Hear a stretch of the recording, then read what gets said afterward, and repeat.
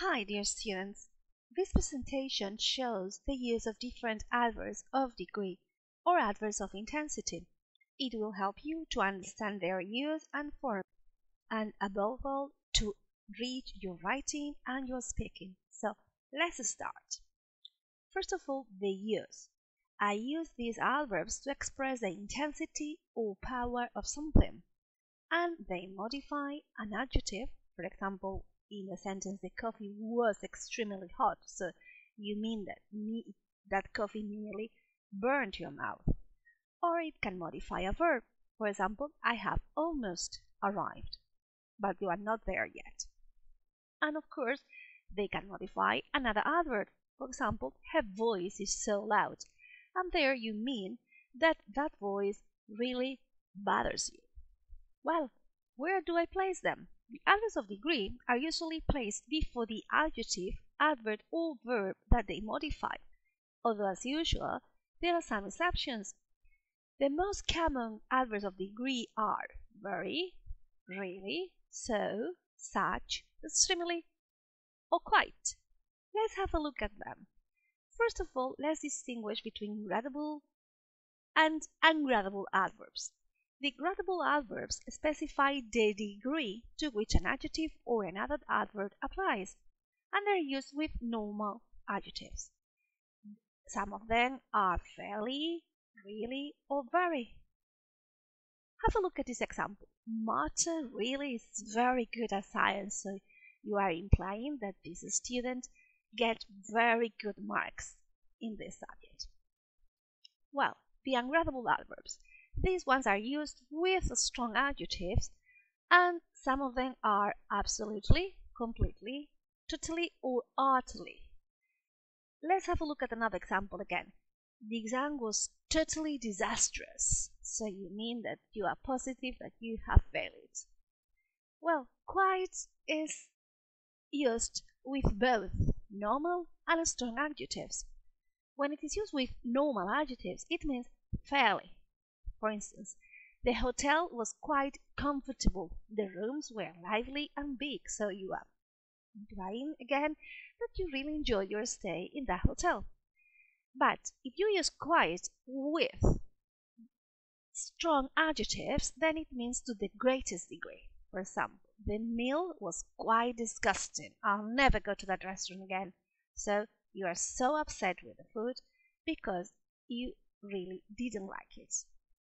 Well, another step in our presentation is how can I say bastante in English? Well, to express bastante, you have four adverbs. Rather, quite, pretty, and fairly. But, of course, the four of them are used in different contexts.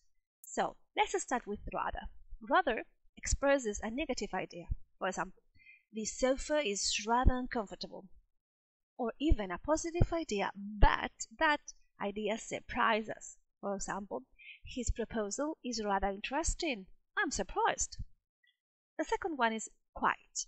Quite is used to intensify a positive idea.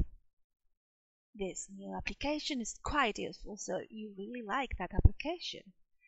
But if you use it with a few, a lot, or a bit, quite expresses a larger amount so if you say quite a few people attended the meeting, in fact, there were many people in the meeting.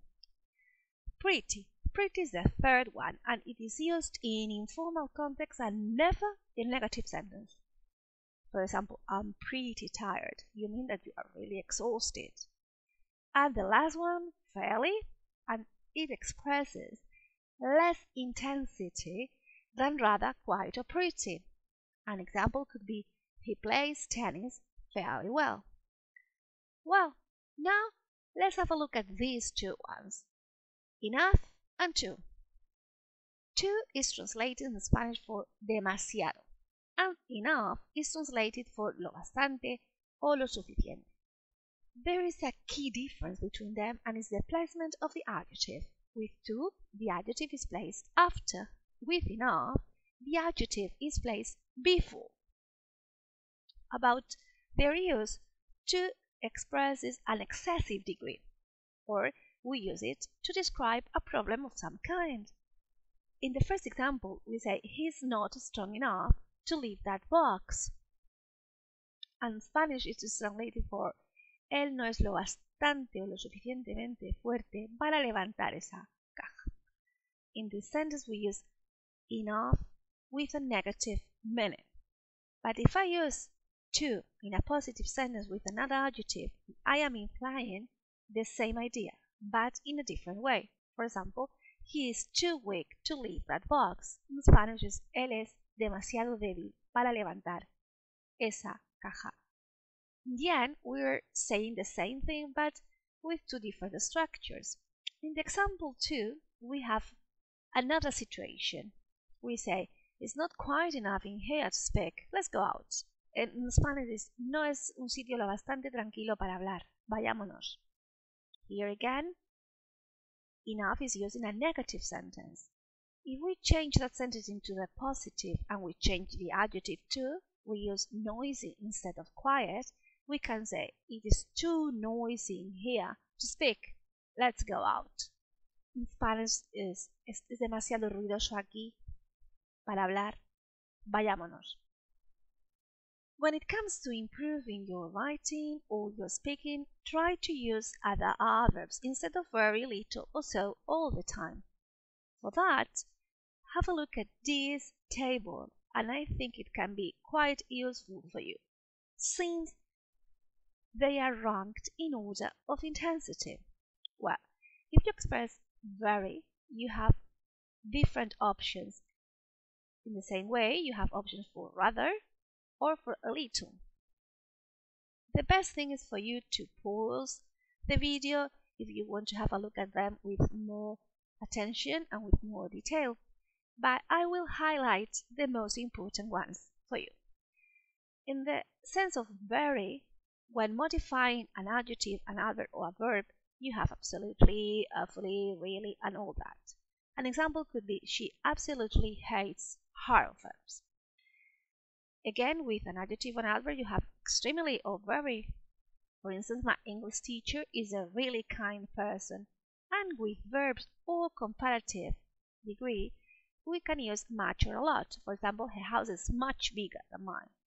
Again, to express rather, you have quite, fairly, pretty, as we have seen previously. And for a little, you have a slightly. In this sense, slightly is used to express like a smaller degree. For example, turn the screen slightly to the right, not too much.